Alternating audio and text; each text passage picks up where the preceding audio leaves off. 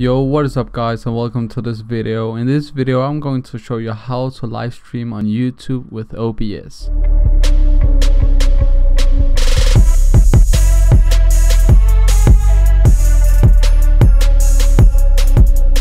So first off, you want to go to Creator Studios, click on your little icon tab, click on Creator Studios, after that go to the live streaming section. And as you can see right here you've got your server url this is the website. This is where your stream is gonna be streamed. This is your stream key slash stream name. You want to copy this and then go to obs go to settings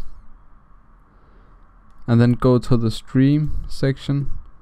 And then you want to copy paste you have to yeah click on reveal. You don't want to show this uh, streaming key off to anybody. Now and there you go. So click on apply click on ok and from here on out you are able to live stream on youtube. If you want me to make more videos on how to live stream on youtube or with your favorite game or whatever or on low end pcs then comment down below. Subscribe to my channel and like this video